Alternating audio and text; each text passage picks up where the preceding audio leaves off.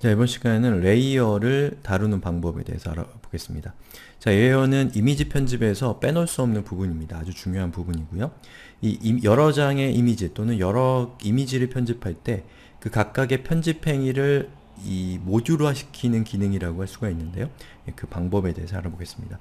자, 이 레이어 기능의 키는 이 레이어 패널입니다. 자, 여기 있는 이 패널을 보시면 현재 이 배경이라고 적혀 있는 요 이미지가 있죠. 바로 요 배경이라는 것에 해당되는 이미지는 바로 이 부분입니다. 그리고 여러분이 요 위에다가 어 만약에 이미지 그림을 그리고 싶다. 그러면 이렇게 그림을 그려서 위에다가 예. 자. 제가 좀 진하게 표시를 하겠습니다. 이렇게 해서 요 위에 이미지를 이렇게 그림을 그리죠. 자, 이렇게 그림이 그려지면 요 이미지는 그 뒤에 있는 배경과 결합되어 있는 상태이기 때문에 여러분이 여기 있는 요 이미지를 제거한다거나 이런 것이 대단히 어려워집니다. 예, 같은 이미지를 편집해 버린 거죠. 자, 그렇게 할 것이 아니라 컨트롤 Z를 눌러서 옛날로 돌리겠습니다. 자, 이 상태에서 레이어 추가라고 하는 여기 조그맣게 생긴 버튼 있죠? 이것을 클릭한 다음에 자, 여기서 여러분이 이렇게 이미지를 편집을 하게 되면 아까 제가 했던 것과 동일한 효과가 나지만 자, 이 상태에서 여기에 있는 이 체크박스만 해제하면 그 이미지가 사라지죠. 방금 제가 편집했던. 그것은 바로 제가 펜 툴을 이용해서 편집한 이미지를 편집한 부분이 어, 그 층만 사라졌기 때문에 그렇습니다. 예. 그런데 마치 위에서 바라본 이- 입장에서는 그것이 결합되어 있는 건지 아니면 분리되어 있는지 알 수가 없게 되는 것이죠. 예, 이렇게 해서 이미지를 켰다 껐다 켰다 껐다 할 수 있는 것이고요. 그리고 만약에 제가 특정한 영역만이 영역이 마음에 안 들면 이렇게 선택을 한 다음에 삭제를 하면 그 제 뒤에 있는 저 배- 원래 배경 이미지는 그대로 있지만 그 앞에 있는 제가 펜으로 편집한 내용은 이렇게 삭제되는 것을 볼 수가 있죠. 이게 바로 이미지 레이어를 사용하는 가장 중요한 목적이라고 할 수가 있겠습니다. 자 그리고 이 레이어 기능은 자 이렇게 제가 이렇게 선택한 부분을 삭제를 하고요. 그리고 레이어를 삭제할 때는 레이어를 사- 선택하고 여기 있는 휴지통 기능을 누르면 자 보시는 것처럼 방금 제가 선택했던 레이어가 삭제가 됩니다. 자 여기 있는 이 펜 같은 경우는 여러분이 특별히 레이어를 만들지 않으면 예 원래 선택되어 있었던 이미지 위에 시- 직접 그 편집된 이 행위가 덮어쓰게 됩니다. 예. 그런데 어 타이포 같은 경우는 여러분이 그것을 특정하게 레이어를 생성하지 않아도 자동으로 클릭하는 순간에 이렇게 레이어가 생성되는 것을 볼 수가 있죠. 그래서 제가 여기다가 어, pixlr이라고 이렇게 입력하고 크기는 예, 150이라고 지정을 한 다음에 확인 누르고 요 위치를 이렇게 변경을 하면 자 이렇게 움직이죠.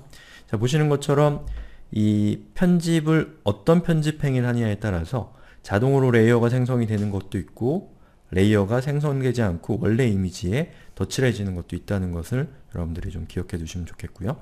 여기 있는 이 이미지 같은 경우는 뒤에 있는 배경은 보통 우리가 비트맵이라고 하는 형태의 이미지고요. 앞쪽에 있는 요 폰트는 어, 벡터라고 하는 형태의 이 정보입니다. 그래서 여러분이 여기 있는 이미지의 크기를 이렇게 확대를 해보면 자, 너무 확대를 했네요. 자 보시는 것처럼 자 뒤에 있는 배경 이미지는 이렇게 거칠어지는 것을 볼 수가 있죠. 자 아주 거칠어졌죠. 하지만 하지만 자 여기에 있는 제가 아까 입력했던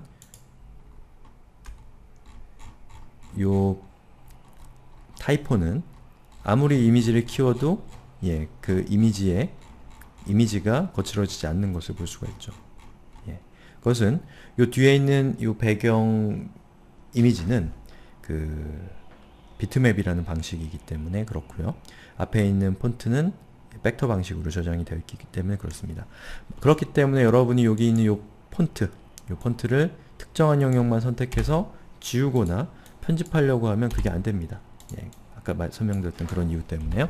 그럼 어떻게 하면 되냐?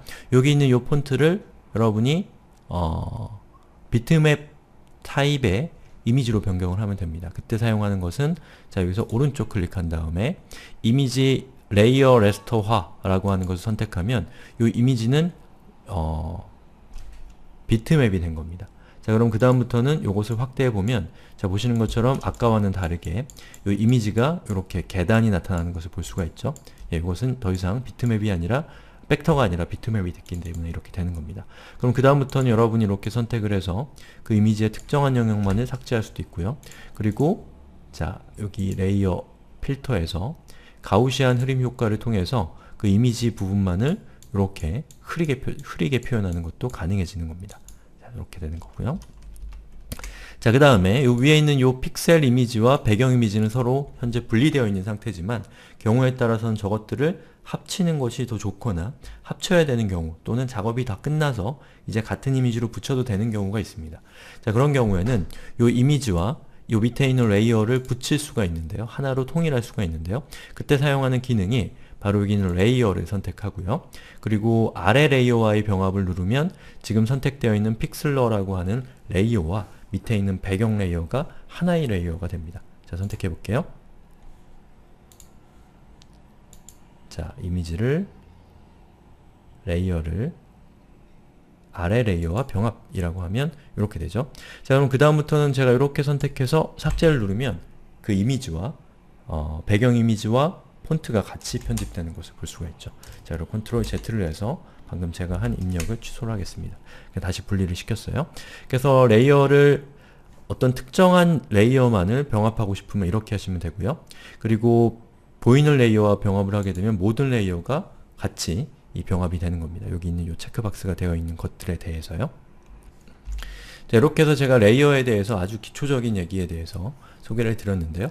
이 레이어는 아주 중요한 기능이고 상당히 많은 기능성을 담고 있기 때문에 여러분이 이 이미지 편집을 하는 과정에서 이미지 편집을 자유자재로 하고 싶다면 이 레이어를 편집하고 레이어를 어, 잘 다루는 방법에 대해서 계속해서 어, 익히실 필요가 있습니다.